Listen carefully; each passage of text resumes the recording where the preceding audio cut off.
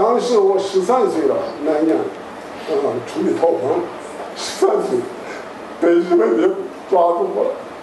当时抓住我我以后，他说我是八路军探子，把我十个打我，给我打的昏迷不醒，要守我一个礼拜。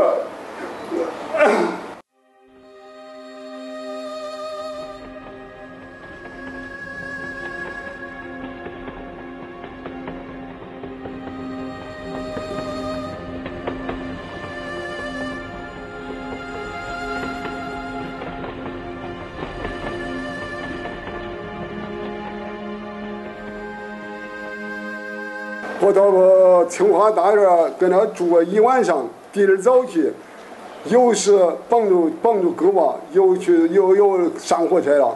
上火车，因为我老小，上那个门子车，那就是木门那那么装货那个车。上车我老小，他给我颠上去，我最后上去。我最后上去以后我，趴那门口来了，因为那底下坐六七十人，七八十个人，那人挤住。那是七月份老热，天老热。那俺俺到塘沽，俺在路上，跟那路上，光听夜间打机关枪，打机关枪那那车上，谁知道到这以后，有个跑有个车皮，车皮炸开跑啊！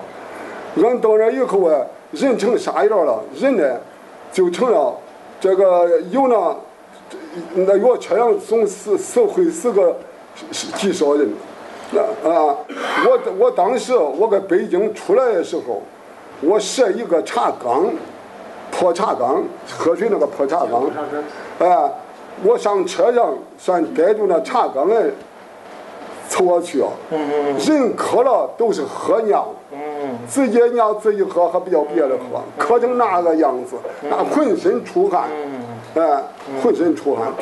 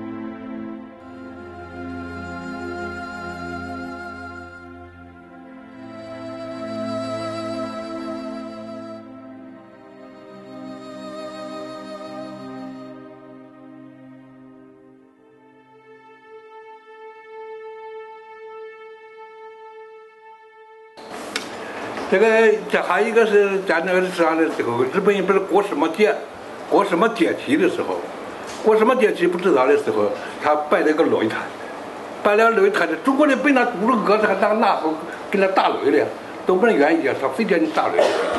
结果打的中国人他没有一个人敢擂台前去，都把人打下来。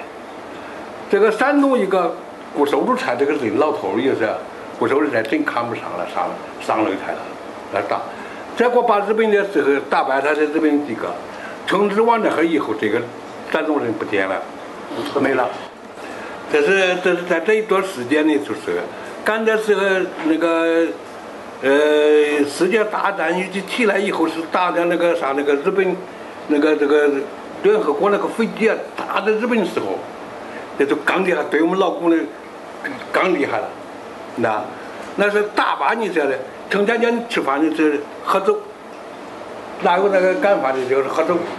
啊，这这个在那个那那个啥的死的人的时候，在那病号，你说有病了，他不该看病的，一有病不叫吃饭了。那你送到那个病房里头，在在那时候在在那化工院里头那个病房，我们是叫死人房，都跟他叫死人房，不叫病房？说为啥叫死人房？进去那一头你定死，那不你不说你病死了，饿也把你饿死。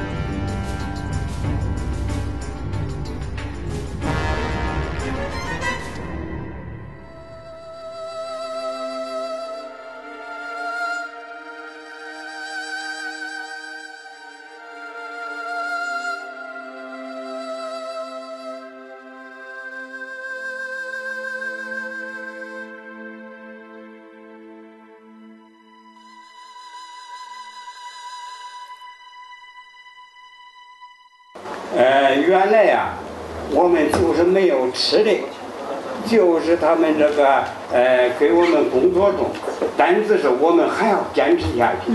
咋个？我们要活下来，还要回到家乡，因为我们的家乡的人啊盼望着我们，我们是不肯死的。但是是到这个呃强撑着到第二年一九四五年的，刚以上说的是我们是一九四四年去，一九四五年的主这个就是三月份，在这个时候啊，我们感到真是活不下去了。因为他们呐，呃，我们饿的太狠了，不得不出去捋树叶吃。他们说是我们出去小偷的干活，老虎来的时候就就用那个皮刑的拷打，身上也没有肉了，他就烧红那铁块落我们。这个这还不算，他们打我们的时候，这个就是制成那个。用那个最使我们接受不了的，就是他用那个公牛生殖器制成皮鞭打中国人，这我们呐都感到这是我们中国人的最大耻辱，这就说是我们中华民族的耻辱，所以就不是个人的耻辱，这是一，这就说是影响住我们的中华民族。所以这样子，我们不到不得不保护我们的尊严了。我们中华民族的尊严，我觉着大于一切。就是我们的生命，那都呃比比不上。所以说我我们这我们暴动是抱的必死的决心，就是要站起来杀日本人。我们出去给他恶拼一场，那当然是没有生路。日本是和海岛，我们跑不出去没生路。我们抱的必死的决心。